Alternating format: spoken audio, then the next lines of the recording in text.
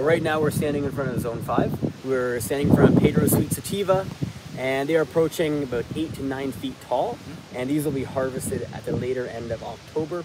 It is a sativa dominant strain so it grows like a sativa, has the effects like a sativa and its terpene profile is more along the citrusy fruitful side. So this year on the 27 acres we're, we're growing uh, just under 19,000 plants and that is comprised of seven strains. So this year we started harvesting October 2nd, a small lot of Green Kush, which was more of an experimental uh, strain that we're growing this year. Um, but that's gonna be something uh, special going to the market. And this year uh, we're harvesting using uh, more machinery. So with uh, combined with more machinery and larger totes that we're harvesting into, uh, it's a more of a commercial scale process that we're doing.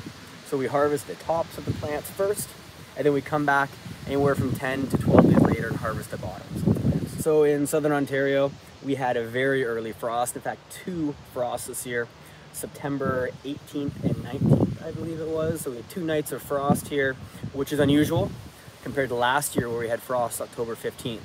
So when that happens, what you're going to see is that the bud production is going to slow greatly. So that is going to um, have an effect um, on the overall outcome of the plants, but um, uh, the majority of our field took it very, very well.